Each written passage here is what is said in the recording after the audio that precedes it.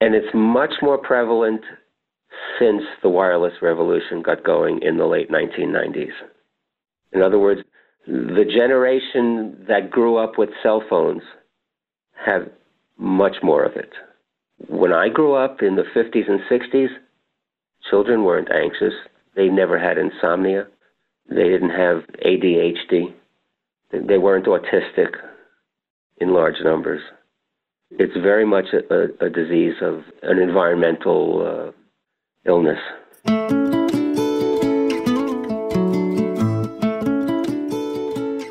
From the Weston A. Price Foundation, welcome to the Wise Traditions Podcast for wise traditions in food, farming, and the healing arts.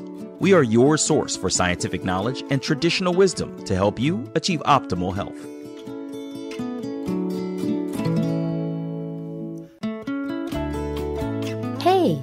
Hilda here. There are lots of things we're exposed to that we are concerned may impact our health negatively air pollution, glyphosate in our food, heavy metal exposure, and more. But electricity doesn't usually make the list. For the last two centuries, we have pretty much accepted the notion that electricity is safe for us and the planet. But what if it is not? What if not only electricity but other non native electromagnetic fields are actually disrupting our health and normal body functions? This is episode 272, and our guest today is Arthur Firstenberg. Arthur is a scientist, journalist, and the author of The Invisible Rainbow A History of Electricity and Life. Today, Arthur challenges our presuppositions and makes a compelling case that our electric environment is interfering with us. Because after all, we are electric beings. He covers anxiety, insomnia, heart palpitations, and more, symptoms that we now call normal, and explains that they are anything but. Actually, they are responses to our overly electrified environment.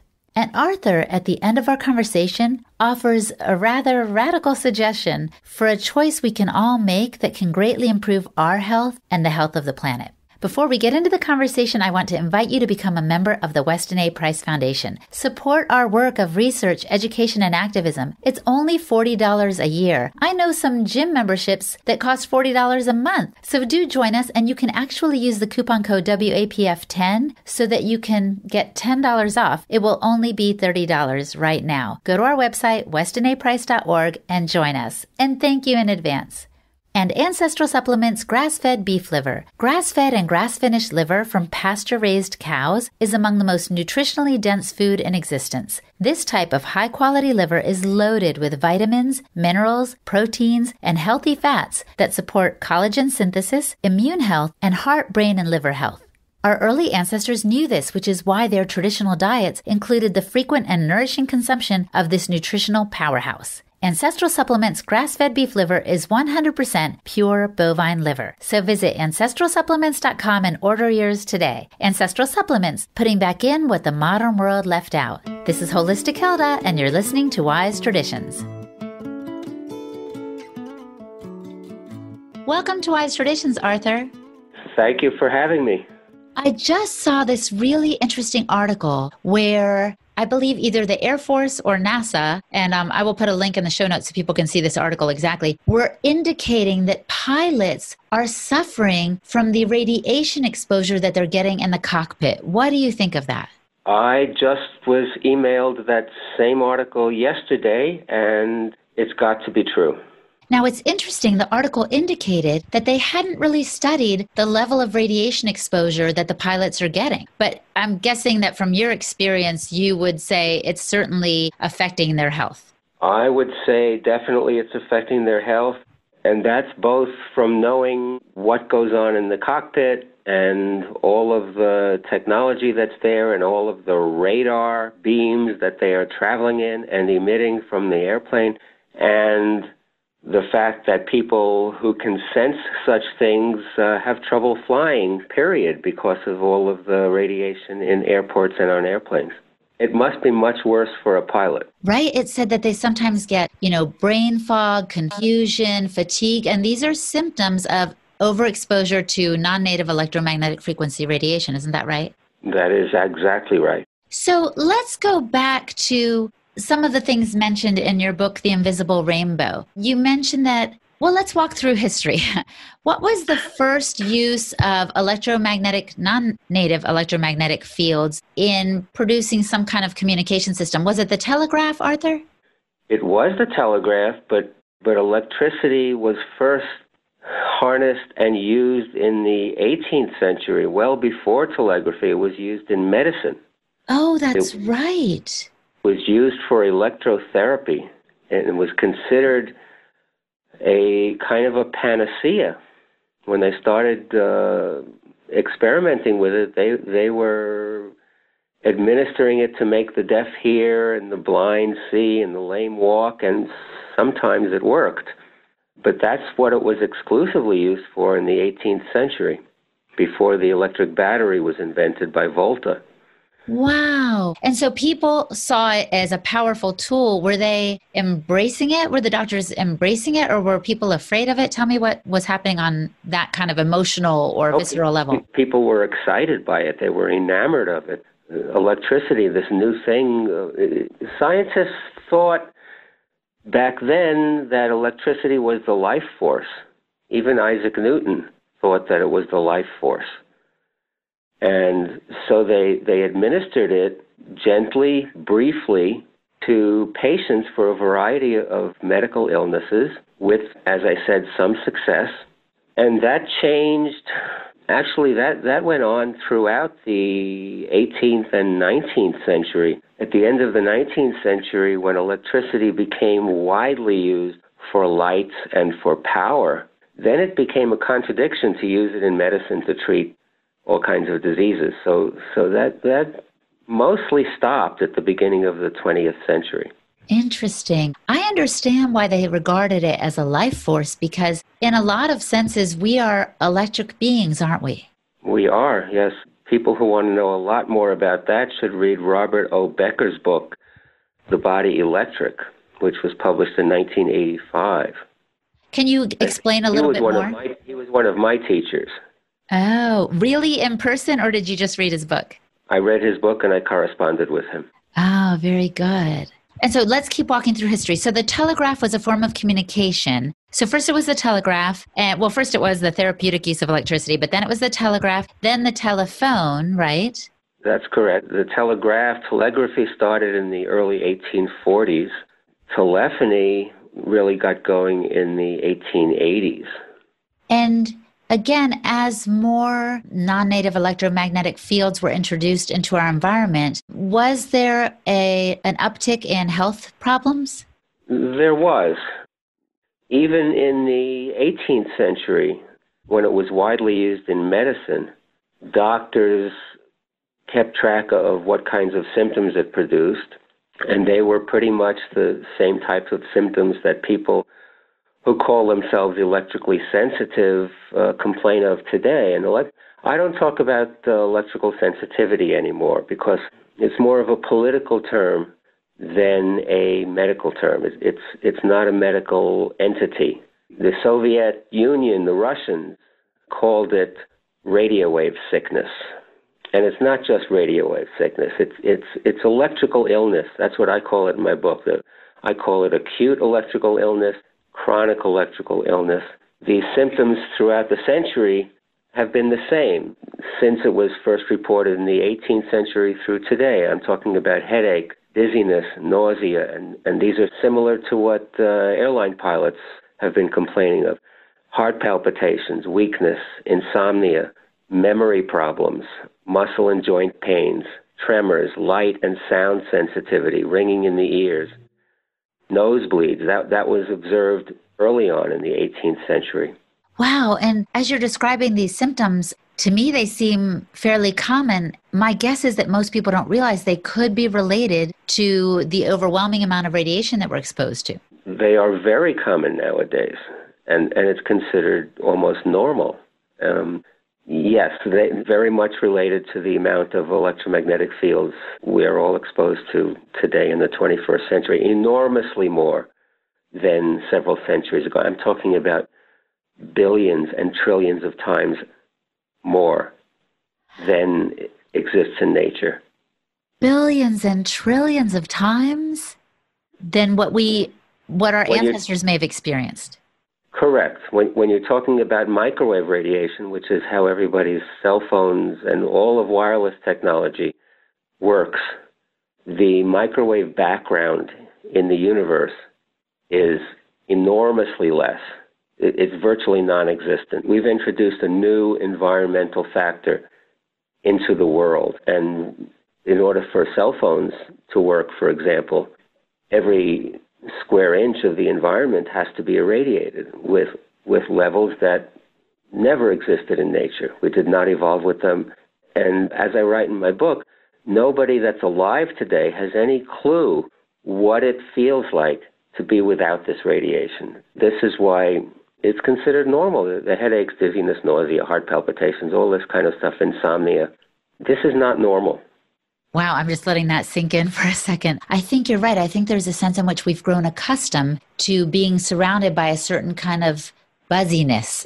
and yeah. it is definitely impacting us on a cellular level. But the thing is, not everyone expresses symptoms in the same way so that like you and I could be in the same room under the same amount of radiation and you may have more symptoms appearing but that doesn't mean that it's not impacting me on that deep level isn't that so well I, I think you would be surprised how similar we all are. We're all alive. We're all electrical beings.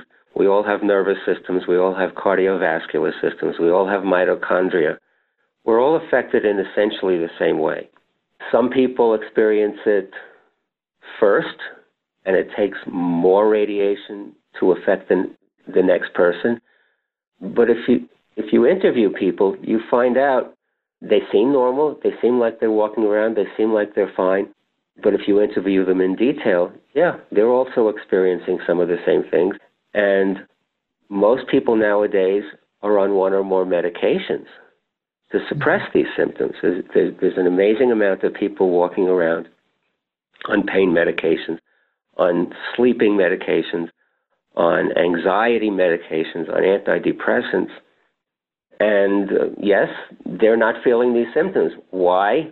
Partially because of the remedies that they're taking for them. Right. It's it's getting rid of the or depressing the symptom how they appear, but it's not necessarily going to the root of the, the issue. Right. It's, it's suppressing the symptoms, and people like me who, who don't take any medications, I, I feel them in real time, and I'm somewhat more susceptible than the next person because of my history, but not because I'm any in any fundamental way different from anybody else. Let's go back because we only got as far as electricity in the homes. I think that was in the early, was it like, when does electricity really cover or start to blanket our cities and our homes in the history of, let's say, the US? Well, telegraph wires, millions of miles of telegraph wires already surrounded the Earth by the 1860s. That was followed in the late 70s and the 80s by telephone wires, enormous amounts of them. And uh, for lights and power, didn't get going until the, until the late 1880s. 1889 was when AC electricity really came into use very rapidly during that year. So yeah, it's, the end, end of the 19th century, and, and the um, an important part of the history is that when telegraphy really got going in the 1860s, there was a new disease described called neurasthenia that nobody could figure out what was causing it, but it suddenly appeared, and with the same kinds of symptoms that people were weak, they they couldn't sleep, they they had they were dizzy, they were nauseous, all the same things, and it was but it was very very widespread throughout the a lot of the world, the, at least the industrial world that that had all these telegraph wires. Telegraph wires seem tame compared to today, but but what people don't realize is that the initial use of electricity, like today, you receive electrical current into your house over a wire, and it returns to the power plant over a wire. In the 19th century, the early telegraph systems used the earth as the return. Instead, none of the current went through a wire. It all went back to the power plant through the earth. So everybody that lived anywhere near telegraph wires were getting exposed to these electromagnetic fields, and uh, this new disease came up called neurasthenia. That for about 40 years was very prevalent, especially in, in, in high society, and a lot of famous people got it. And around, what was it, 1895 or 6, Sigmund Freud came and declared that this was a psychological disorder, and he named it anxiety neurosis.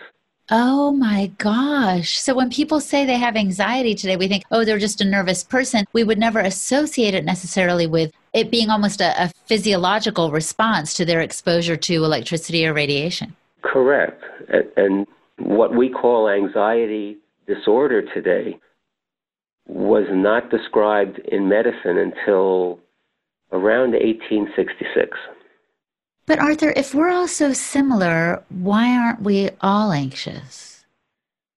Well, to some degree, I think we all are.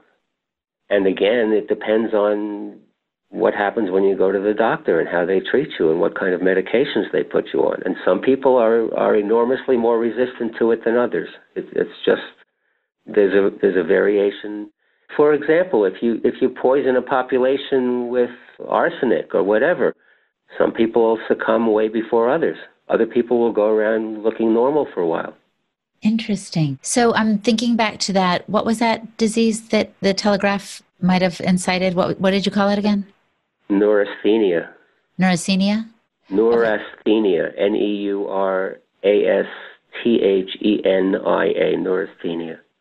All right. Well, and in some parts of the world today, neurasthenia is still a medical diagnosis, not here in the United States.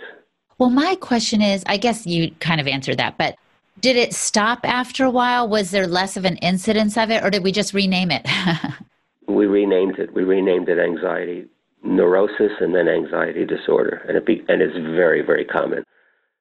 Something like a one sixth or one fifth of the population uh, suffers from it.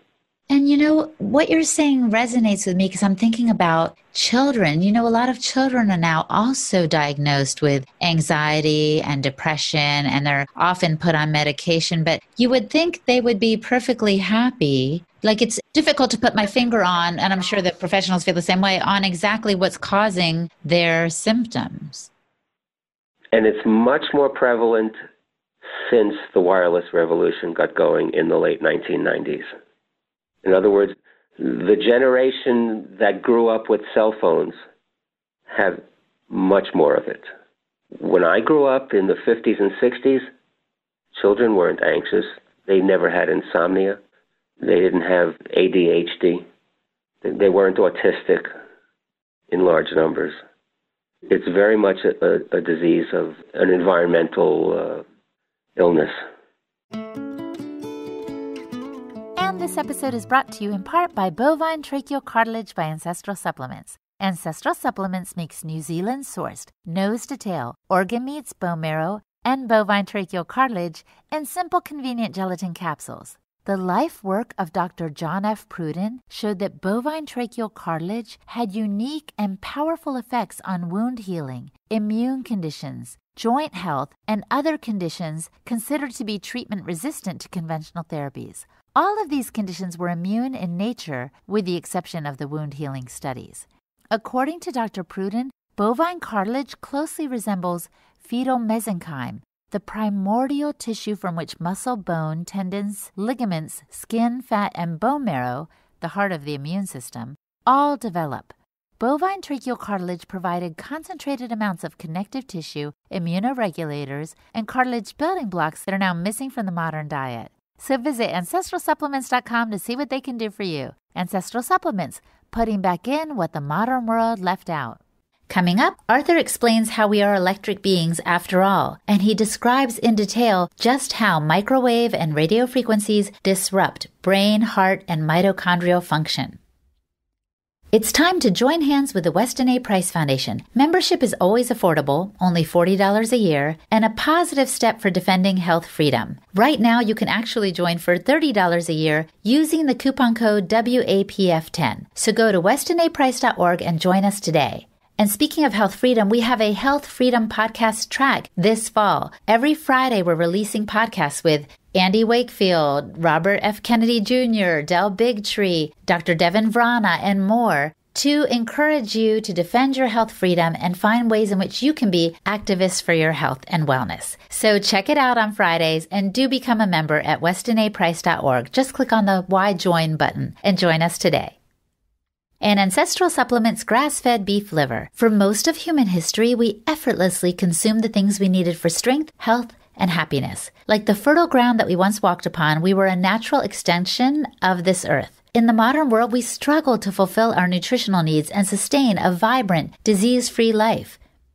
Grass fed and grass finished liver from pasture raised cows is among the most nutritionally dense food in existence. Our early ancestors knew this, which is why their traditional diets included the frequent and nourishing consumption of this nutritional powerhouse. High quality liver is loaded with vitamins, minerals, proteins, and healthy fats that support collagen synthesis, immune health, and heart, brain, and liver health. Whole food, nutrient dense organs can provide great benefit for those seeking targeted support in harmony with nature, much as our ancestors did. So, Check out Ancestral Supplements grass fed beef liver, which is a whole food dietary supplement, by the way, that provides 100% pure bovine liver. Go to ancestralsupplements.com and order yours today. Ancestral Supplements, putting back in what the modern world left out. This is Holistic Hilda, and you're listening to Wise Traditions. So, interestingly, in your book, you do correlate, just as you mentioned a moment ago, outbreaks of illnesses with exposure to new levels of electromagnetic radiation. But correlation isn't the same as causation. So, just because something happens at the same time doesn't mean that one thing caused the other, right? Well, today we have about 30,000 studies, at least, on the biological effects of microwave and radio frequency radiation. 30,000? Something like that. We have epidemiological studies, we have experimental studies on animals, we have clinical studies on human beings, we have endless numbers of them. When Zory Glaser was hired by the, the United States Navy in the 1970s, they commissioned him in 1971 to catalog the world's literature on biological and health effects of radio frequency and microwave radiation. And by 1981, he had cataloged 5,038 studies already in the 1970s. Oh. And, and I've looked at what he's done and what he didn't find, and um, I estimate that he found probably half of the world's literature. So that so by the by 1980 there were 10,000 studies.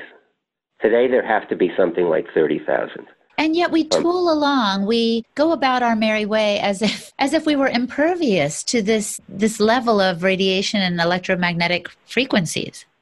And we also know causation. It's not just correlation. We have all these studies, experimental, epidemiological, clinical studies. We know the mechanism. And it's been proven many times over and long ago.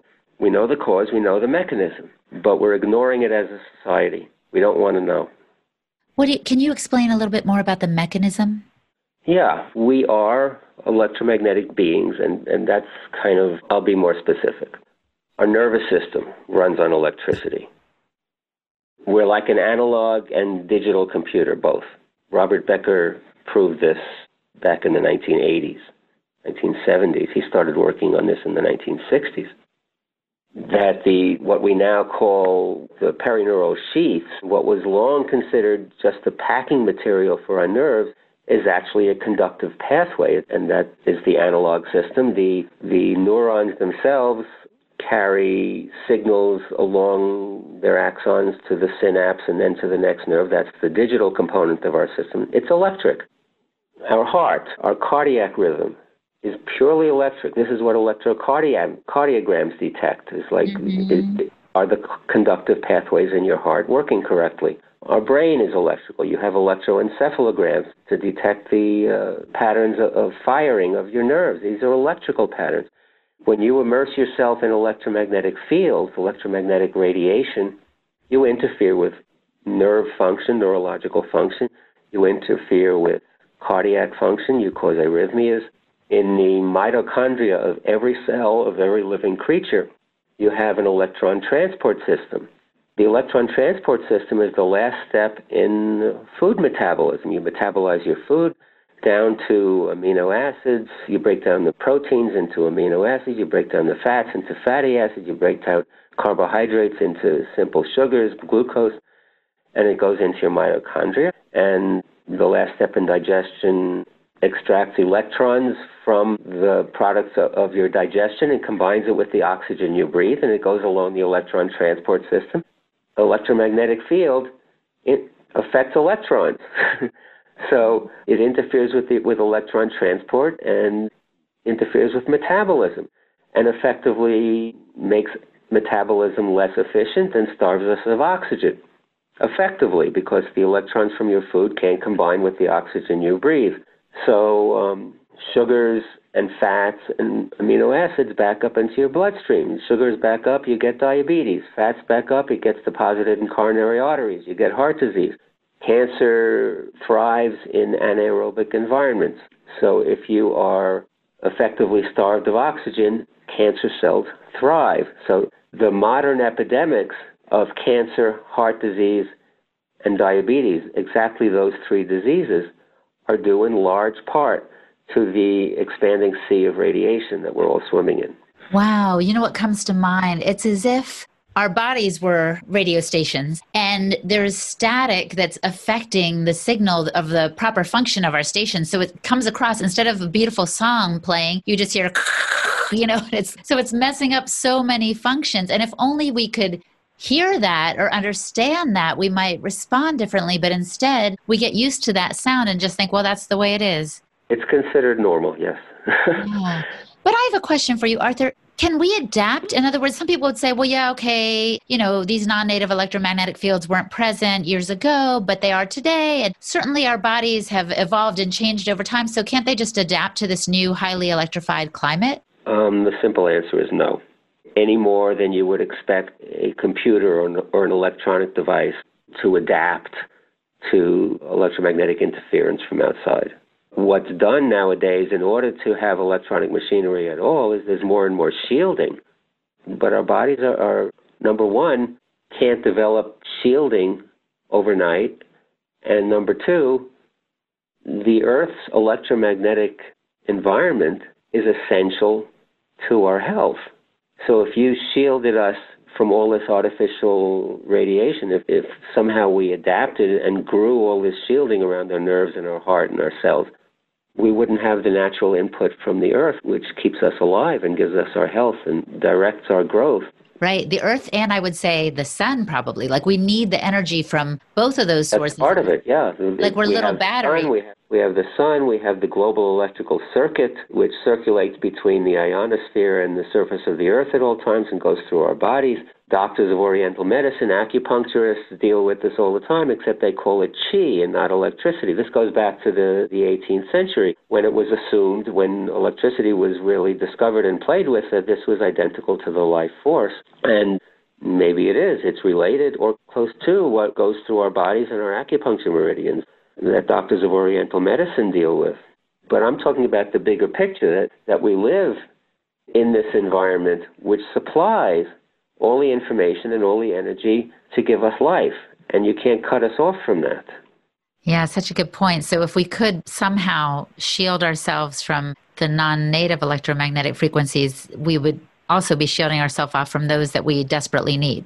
Correct. So, because of the outbreaks of illnesses that I read about in your book, do you think our current health crisis is related in any way to this new uptick in 5G infrastructure and the microwaves emitted by the new antennas?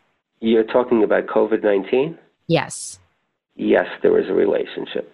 As soon as you say that, you're considered a conspiracy theorist, but uh, but there is a relationship. The coronavirus a lot of what's being diagnosed nowadays, and this is very important, a lot of what is being diagnosed as COVID 19 is no longer a respiratory disease. They're talking about bleeding disorders, clotting disorders, heart attacks, strokes, neurological disorders. They're talking about people itching and have tingling, like all of this stuff. That's not a respiratory virus. The respiratory epidemic that swept the world in December, January, February, March, that was a respiratory disease. It killed people by causing hypoxia. It prevented the hemoglobin in blood from combining with the oxygen you breathe. When that is combined with 5G, which is hugely intensified radiation over what we've been living with, with 2G, 3G, and 4G, 5G is 10 to 100 times more powerful. The COVID 19 prevents oxygen from combining with your blood, starves your blood of oxygen. The radiation starves your cells of oxygen because of what it does to the mitochondria. Together, they're synergistic and they kill people. This is why Wuhan, China started the epidemic.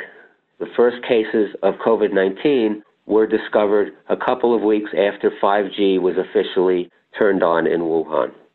The big epidemic in New York City of the respiratory disease became lethal a couple of weeks after 5G became commercial in New York City.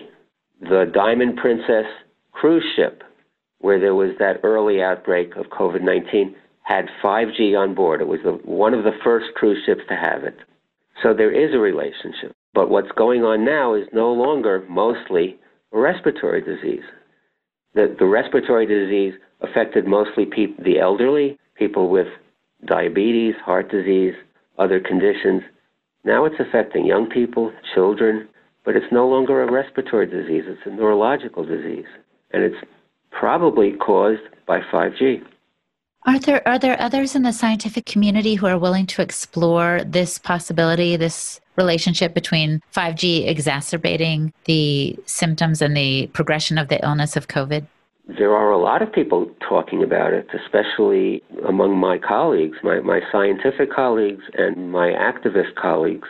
But we're not getting media coverage, we're not getting airtime because there's such a preoccupation with everything being COVID 19, and anybody that says anything different is considered a conspiracy theorist. We're not even getting airtime. Yeah, I'm, I'm laughing just because I, I, I know there's that quickness to label people who think differently or who have a different approach to what's going on and it, it's really it's quite sad because we're not exploring possibilities and ways in which we might improve our health. Like maybe if there was any way, do you think there's a chance that people might wake up to the fact that this is damaging our health and want to slow down the rollout of 5G? Isn't there a whole group of European scientists who have signed some kind of petition to to stop its rollout? 5G, the biggest petition is the one that I am administering. It's the International Appeal to Stop 5G on Earth and in Space, and we have 300,000 signatures from all over the world so far, including thousands of scientists and thousands of doctors. There also is a, in a few days from now, I think on the 29th, I think, uh-huh. there's an international day of protest against 5G, and that's being organized by another group, Stop 5G International. And that is also worldwide, multinational. Wow. Well, we'll try to get the word out. What's happening is with the podcast, this is an aside, we'll edit this out, but we can't publish this until way later, but maybe we can still alert our followers because they are big on activism and so are we. And, you know, it's funny because the Weston A. Price Foundation is sometimes looked at as just a nutrition group. But of course, we're very concerned about other things that affect our health, including non native electromagnetic frequencies. So we'll put that on people's radar. No electromagnetic pun intended. Arthur, I do want to ask you as we start to wrap up, because this is quite discouraging. if the listener could just do one thing to improve their health, and maybe particularly in regards to their exposure to non native electromagnetic radiation, what would you recommend that they do? What's one first step they could take to protect themselves? The single most effective thing that people can do to improve their health is to throw away their cell phones and never use one again. And I say this for two reasons. One, and people don't realize this, that, that the exposure drops off as the square of the distance. In other words, it increases as the square of proximity to your body. So since your cell phone is held in your hand, on your body, let alone next to your brain, you are getting much more radiation from your phone than from any antennas in the street, any cell towers. And the other reason is that my mission is to save this planet. That 5G, in other words, it's not just human beings anymore. There are very few insects left in most places on this planet. And this is in large part due to all this radiation. We just had, in the last few weeks, there are reports of millions of migratory birds falling out of the sky along the migration path from Mexico, from Colorado down to Mexico, from Nebraska down to Mexico. They are emaciated. They're dying because they're starving. They're insect eating birds. There are no insects left to eat. This is interfering. And insects have much higher metabolisms than we do. It affects their, their metabolism much more quickly. It affects migratory ability of birds also. But these birds are dying because they're emaciated. Mm. So I'm trying to save the planet. The, the satellites that are going up, SpaceX is in process of launching tens of thousands of satellites. They're launching 60 every couple of weeks. And this is going to disturb the ionosphere, which controls the global electrical circuit, which keeps us alive and healthy. This is a, an existential threat to life on Earth. Arthur, I'm so, so the, grateful. The thing about cell phones is not only is it your biggest exposure, but in order for your cell phone to work when you need it to, there has to be every square inch of this planet has to be irradiated. Mm. The radiation is the product, and if we and if we want to turn the infrastructure off, people have to start have to give up their cell phones. So that is the single most effective thing for our planet and for your health. Well, thank you for that advice. I do have one more question because what you said about the satellites being launched, you know, I find very alarming. Of course, there are teams of scientists working with Elon Musk and others to make this happen. Aren't they aware that they are risking our the very life of this planet? They have no clue. They have absolutely no clue. That I'm looking for people that know not not so much Elon Musk, but his brother Kimball who lives in Boulder, Colorado, and is a staunch, he and his, Kimball and his wife are staunch environmentalists. And Kimball's on the board of SpaceX, and I'm sure he has no clue. We have to start a dialogue with these people and start talking about the relationship between what they're doing and what's happening to this planet. It's very important.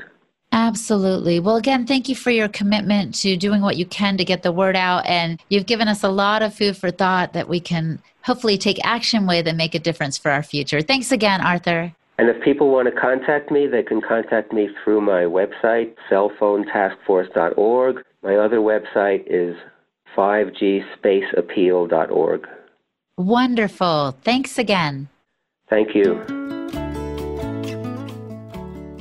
Our guest today was Arthur Firstenberg. Visit his websites cellphonetaskforce.org and 5gspaceappeal.org for more information on the causes he advocates. And I'm Hilda Labrada Gore. You can find me at holistichilda.com. And for the show notes for this and every podcast episode, visit our website, westonaprice.org. Oh, that reminds me, we have a new feature now. We may have a transcript in its entirety for every episode from here on out. So check them out at westonaprice.org on the podcast page. And now let me read a letter from a recent journal.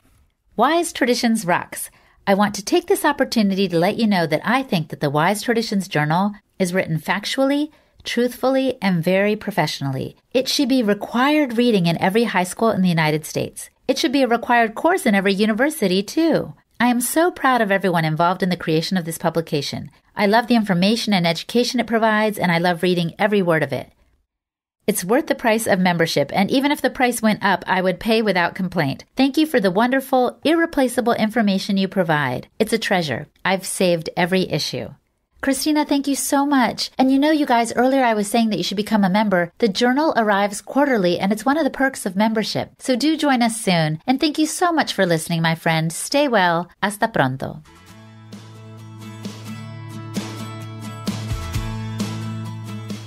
On behalf of the Weston A. Price Foundation, thanks for listening. We have many free resources to support you on your health journey. Visit westonaprice.org to find podcasts, articles, videos, and more. You can also find a local chapter near you for help in finding sources of great food. We invite you to support the Foundation's mission of education, research, and activism by becoming a member. Thanks again and take care. Wise Traditions is a project of the Weston A. Price Foundation for wise traditions in food, farming, and the healing arts.